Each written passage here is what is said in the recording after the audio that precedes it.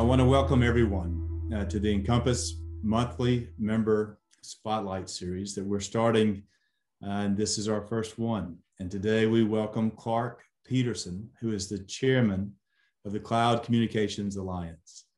And we're looking forward to a conversation with him today. The, the Cloud Computing, the Cloud Communications Alliance is a peer association dedicated to the growth of the cloud industry. They provide a forum to industry leaders to discuss key topics and advance their mutual or individual goals. In the process, CCA moves the industry forward by supporting and educating business, businesses on the best way to build, sell, scale uh, their enterprise communication systems. Clark has, has served as chairman for 11 years. It's, it's hard to believe uh, 11 years in, uh, in your leadership uh, position. He is also currently the CEO of Ontologix Data, a leading platform, a company that analyzes worldwide patents and IP data to predict emerging technologies. He also serves on uh, a couple key boards, TPX Communications and Alianza. During his career, Clark has built national and global businesses in the software, wireline, wireless, cloud industry, industries, and was part of three successful IPOs. An industry veteran, he previously was an executive at Vonage, served as CEO of Telesphere, and held management roles at Clearwire, XO Communications, and AT&T. Earlier this year, CCA became an affiliate member of INCOMPAS. This is a special membership we offer to qualified organizations to work with us to advance competition policy. I'm looking forward to the conversation that we're going to have today as we talk about this special relationship, the new affiliate membership, and the ways that we work together to advance competition policy, partnerships among our member companies on the business front, our policy summit, and our, our annual industry show that this year is going to be in Las Vegas. And we're looking forward to being in person this fall for that. So, Clark, welcome. I want to thank you for being part of our initial uh, membership uh, spotlight series. And I'd like to uh, kind of kick things off for you to just tell us broadly uh, who um, who you are and what makes up the Cloud Communications Alliance, your member companies, and what y'all uh, try to do to to advance your members and your industry. Oh, thanks, Chip. It's great to be here. Thanks for the invitation to uh, to speak to INCOMPAS members. And on behalf of the Cloud Communications Alliance, or what we'll refer to as the CCA for simplicity, we're really excited to be uh, involved with, Encom with INCOMPAS on multiple fronts there and on the regulatory side, pushing key initiatives that we think are real important to, to your members, to our members, to the overall advancement of the industry we're uh, really excited to to uh, to be with uh, you with some of these initiatives. And so, thanks for having me here. Um, I'll, I'll, just briefly uh, touch on you know the CCA uh, as a mission. You know, uh, our our mission is to pro provide strategic direction, growth opportunities, and be a thought leader really for the overall cloud communications industry, and really represent our vendors our uh, service providers, and we do a lot of work with the analysts who are covering the industry to, to help them understand uh, where things are going and, uh, and answer questions for them. We actually do an annual survey that gives insight to all the analysts, investment bankers from the service providers on, uh, on where things are going, what their customers are asking for, their growth rates, a lot of things that companies are sometimes reluctant to answer specifically for themselves because of uh, they can't be anonymous, but as uh, as a membership, we're able to provide some really interesting insight for, uh, for the industry from our, our members, both providers and vendors. Tell, tell us a little bit about what, what would be a key different, differentiator for your organization and, and its mission.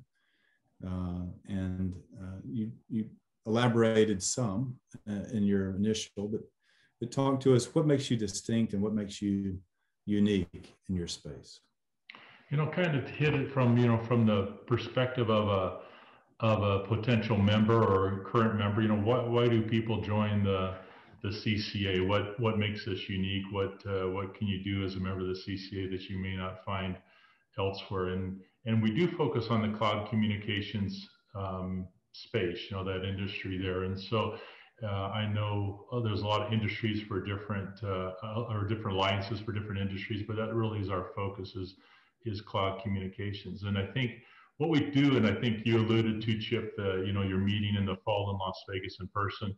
We also, uh, you know, we're meeting a lot before COVID. We've uh, we've learned how to do it all virtually in between here, but we're excited to also have our meeting in.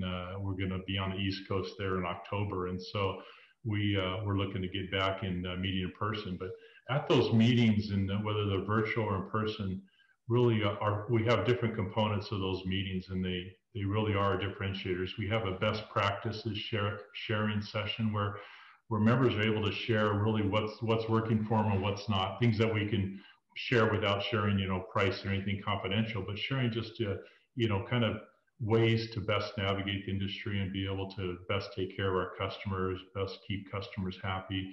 Uh, we share those best practices. Uh, another big benefit of the CCA, we're really the voice for the industry that we focus on for the analysts uh, in particular. And so a lot of companies who may otherwise on their own not have as big a voice to be able to even be on the radar screen of an analyst, uh, through the CCA, they're you know they want to get their feedback they have a voice they're able to give them their perspective uh, we're also the voice for all the vendors so you know in the initial days some of these platforms like uh, back in the day you know you had BroadSoft as kind of one of the major cloud communications platforms i mean they really didn't want to have to hear feedback from 50 different service providers right and so they really liked having the cloud communications alliance be a unified voice for input of things they might want to focus their R&D on to be able to best take care of our customers and uh, us as service providers. And then lastly, uh, you know, the uh, on the M&A side, it's been really interesting. Really wasn't one of our things we set out to do, but through all of the networking that we do and all of the in a lot of our meetings, we have the leading investment bankers and financial institutions speak as far as where the industry is going and uh, what they might want to think about if they're positioning their positioning their company to either acquire or be acquired. Um, a lot of deals have happened because uh, companies meet other companies who are complementary and synergistic, and uh, and they learn about at the CCA meetings kind of ways they might want to create a one plus one equals three combination with other partners that they meet through our our events. So, um, as you talk about uh, your organization's networking and best sharing of best practices and, and the knowledge and the and the networking is very much uh, consistent with the culture and the mission of, of INCOMPAS. And wherever we can expand the networking, the ability to, to, to form partnerships, business relationships, uh, the merger and acquisition opportunities that, that are only growing and, and for, especially for, for, for cloud-based uh, businesses and and platforms. Talk to us a little bit, uh, and before we get into uh, some of the questions of of why you joined INCOMPAS, but as you as you look forward, merger and acquisition growth trends, how do you feel uh, uh, for the industry? Uh, is outlook coming out of COVID, and and what are you predicting?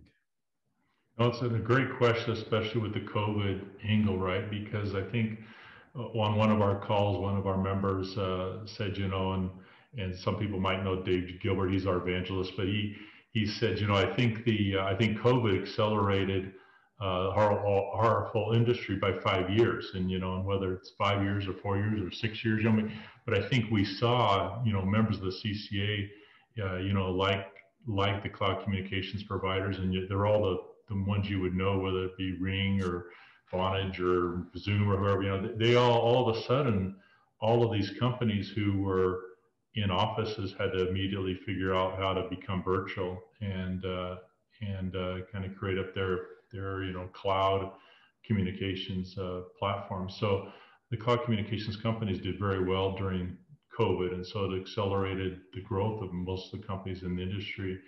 Um, but I think the as it's going forward, what's where we're at as far as an industry, I'll give you a few statistics, but the uh, the overall industry, even though the, the penetration of the industry really happened at the uh, started with the smaller companies, right? As companies saw Ring and Vonage and 8x8 and all these companies kind of go after the the kind of the lowest hanging fruit there, companies who could very quickly and easily move to the cloud. Um, the penetration has gotten quite high on call it under you know 10 seats per location is close to 50% now. But the penetration when you get above that is actually quite low and the overall penetration of the industry is only still about 27 28% depending on which analyst you talk to. But uh, so there's a long runway ahead and uh, when you still see that there's you know say 73% or so of the market still to transition especially those larger customers who had pbxs and are a little bit more complex as far as a transition they have not yet moved to the cloud uh, you know, that's a long, a long runway and a lot of businesses still to move to the cloud. And so from the M&A standpoint, I think you have a lot of companies who are really good at this and experts at this, but they may not be the biggest companies in the industry. Some are, but uh, there's a lot of very large LECs and CLECs and other providers out there who would like to move to the cloud. And, uh, and so there's a lot of acquisition activity happening where people look at it as a build versus buy. And is it quicker to just you know, buy a partner and uh, and help my customers move to the cloud versus uh, build it from scratch. That's you know that's an amazing statistic that really only 27% penetration. Um, so there is a lot of upside, a lot of growth, and I do think that COVID has accelerated the adoption and the use, and and so um, your member companies and and and our member companies at INCOMPAS really have um, an optimistic view of the, of the future for our member companies, both on the infrastructure side and, and on the cloud uh, communication platforms. So that gets me to my next uh, uh, question. Why did you uh, join INCOMPAS as an affiliate member? And as we look at trying to influence major policies before Congress right now with a new administration, new Congress at the FCC, how did your interests align with INCOMPAS, and why did you join as an affiliate member?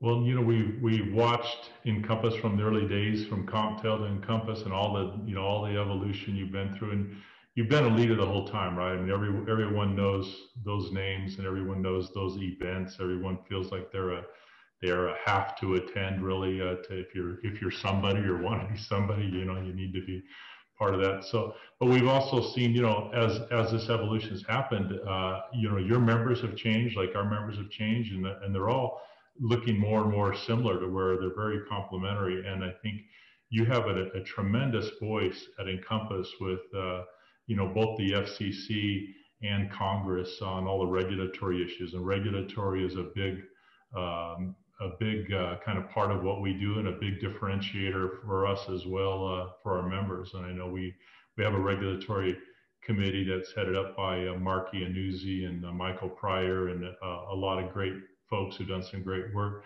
And they they really uh, looked for an opportunity to amplify our voice uh, by joining with the Compass because we know how how far along you are in that area and, uh, and what a tremendous uh, I think respect you have from those key regulatory bodies that we thought uh, there's something here very synergistic and uh, and powerful if we we align especially I think since so many of our initiatives are aligned uh, that we're you know that we look to advance both for our industries and our members you know, it is um, it's, it's hard to believe. And as I look at your career, which has really spanned, as, as I mentioned in the introduction, every network, every stage of, of competition and all the different services. This year, INCOMPAS celebrates our 40th anniversary.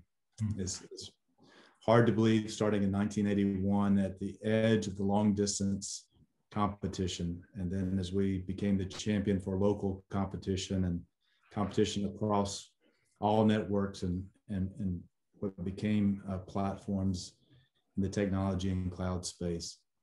And as, as you look at fiber and, and, and wired and wireless and, and, and cloud-based uh, uh, competition now, it does give us a tremendous uh, opportunity. We wanted to look back uh, over where we've been and to celebrate, but now to look forward.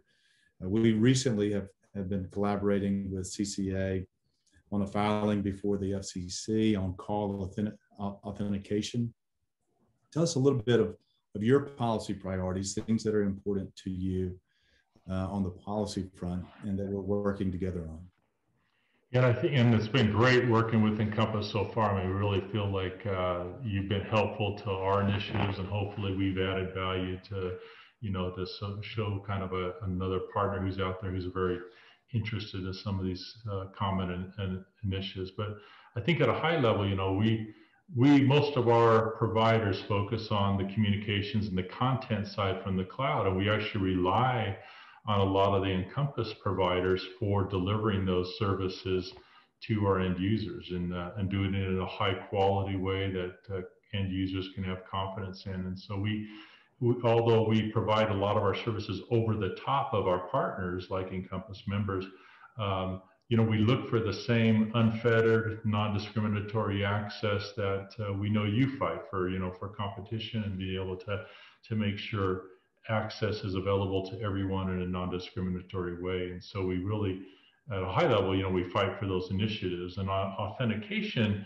you know, when you take, a, for example, the whole STIR/SHAKEN initiative and uh, the regulatory, uh, you know, issues revolving that, um, everybody wants to eliminate fraudulent robocalls, right? There's nothing more annoying than that. Uh, and I know it was actually driven home. I, I'm from Las Vegas originally, and I was visiting my 85 year old mom in Las Vegas at her home there, and um, she she's fortunately able to live live on her own there. But she calls kept her phone kept ringing, and she'd pick it up. You know, still had a landline phone there, and I'd look at the caller ID, and if it wasn't someone's that she knew the ID, she said she doesn't answer because she gets too many calls from people that are trying to you know rip her off. And uh, i thought that's sad right? I mean we have to create a, uh, a, communications tool that my mom can answer every time no and it's it's not someone trying to steal something from her right? And uh, and so everyone wants to eliminate robocalls but at the same time we know how complex that is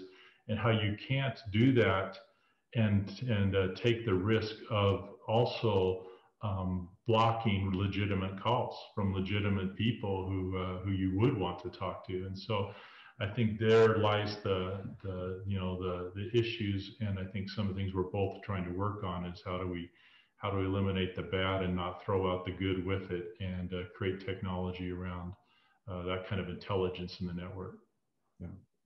Well, it, it's, it's been very helpful to INCOMPAS in our advocacy to have your members join with us on something that is very, very critical.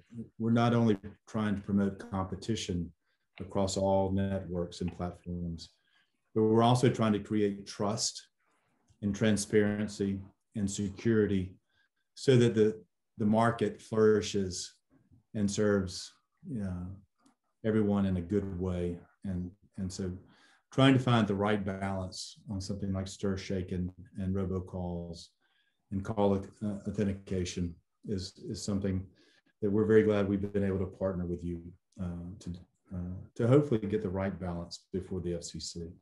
Yeah. And, and that brings me to the, to the next question, uh, which is not only do we advocate together, but uh, we, we, provide uh, a community and venues and opportunities like with our annual industry show for business to business relationships. Uh, for, for your business, for your members and for CCA to have a platform to get your message out uh, of who you are, what you're doing, who you're providing service to.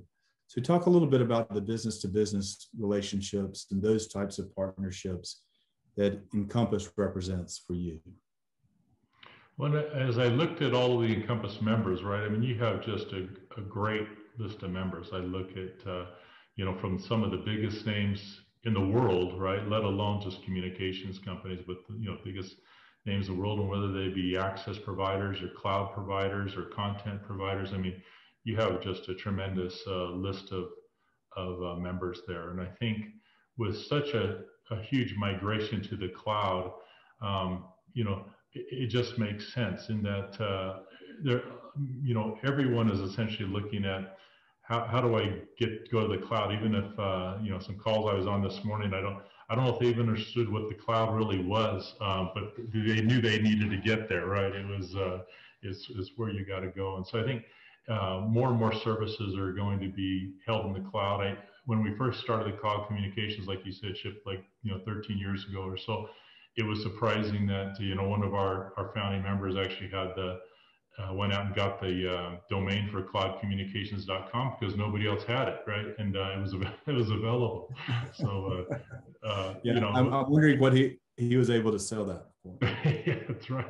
Well, we use it now, you know, fortunately because it's uh, it's our main domain now. But yeah, it's you know, it was just not. Um, you know, I remember you know having to convince people to trust us that we can take care of your services better in the cloud than you can by having that big box in your closet with all those blinking lights and a person babysitting it, you know, 24 seven. We, you know, trust us, we can do that. Now I think most people know they can trust the cloud. Everything from their banking to their dating is in the cloud, and uh, and they know they can uh, they can trust it. And uh, and so with that huge migration to the cloud and with all the the huge um, members that you have really uh, covering the whole breadth of total communications, I think it only makes sense that we uh, we have the opportunity to at least be on each other's radar and and and have our members help each other out because I think it's an incestuous industry and uh, and everyone uh, looks for ways to to uh, to you know help advance the, the efforts of the industry. Uh, one final question before we turn it over to any any questions from our, our audience as, in, as we begin working in the, in the first quarter of this year, new, new president, new administration, uh, new Congress, uh, new leadership at the FCC, major transformational um, policies are being shaped right now uh, in this uh, new environment. A major investment in infrastructure for the broadband industry, all forms of, of networks, uh, how do we reach a, a, new national consensus and commitment coming out of COVID to have universal connectivity, which has a, an indirect benefit, I believe, to all of your members that uh, if the infrastructure, the broadband infrastructure of the country is robust, secure, fast, high capacity, then uh, your members benefit and the and the and the customers that they serve business enterprise anchor institutions healthcare financial individuals they also benefit. So talk to us a little bit about what are the as you go forward as we go forward together this year any priorities on the policy front that, that you're watching closely? Where, where we could be of assistance and where we could partner in that uh, in that priority? Thanks. It was a great question, especially in light of what you mentioned there, Chip, with the uh, the infrastructure potential investment, right, and how that might actually benefit a lot of us in the communication space as uh, as money becomes available for both metropolitan and rural areas. But I would I would capture our focus and uh, areas of interest really in four four main areas. You know, one is is to really support and drive the proliferation of abundant, unfettered, and non-discriminatory uh, broadband access throughout the country, right? Yeah, I, I really, I, I really like how you just defined that. un, un, abundant, uh, unfettered access, non-discriminatory. right? We all want it. We want, you know, and everybody does, right? And they want it, like you said, want it better than it was yesterday, higher quality. Uh, want to, you know, it'll be uh, really interesting as our future unfolds here and our kids' future unfolds just what travels over that broadband access, right? I mean, it's just limitless uh, uh, as that capacity grows and the quality of that delivery grows, just what could be um, um, delivered. And, uh, you know, when I started college, there were no cell phones, no internet, and uh, no PC. And when I finished college, there was PCs, internet and cell phones. And so, not that I took a really long time to uh, finish college, but it was that's the kind of innovation that just happened once these things became available. And I think broadband will be really a, a, a launching pad for so many more. So that that you know proliferation of broadband is huge. I think the second one I'd say is just the you know, uh, um, kind of, you know, closing the digital divide. I think there's still a lot who don't have access that like we'd have them have access. And I know, uh, you know, people like I, have worked with in the past with, uh, you know, Craig McCaw and his his SPAC just bought Astra and uh, a satellite company, right? A lot, there's a lot going on terrestrially as well as uh, you know uh, in the skies or on the satellite side. And so I think you know there's lots of ways to provide broadband, and uh, and I think having that having those ways that we can help close this digital divide are important. And then I think you know really watching the regulatory front, which you guys are experts at, and because I think sometimes regulatory issues in their best efforts to help can sometimes hinder. And so we have to really just make sure that the right uh, laws are, are passed, initiatives are passed that uh, help versus hinder. And then I think lastly, just creating a communications platform uh, through our efforts that uh, my 85 year old mom can confide in is one of high quality and non-fraudulent and uh, is able to to give people a, a communications uh, platform for true that they really uh, can have high confidence in. Well, well, Clark, I didn't. I don't know if we have any any questions for the audience, but let me just close us by saying one, I'm very grateful that that, that CCA has joined as an affiliate member to INCOMPAS. Uh, I, I, do believe it makes us both stronger and our voice uh, uh, uh more effective uh, as we try to shape the policies of the future.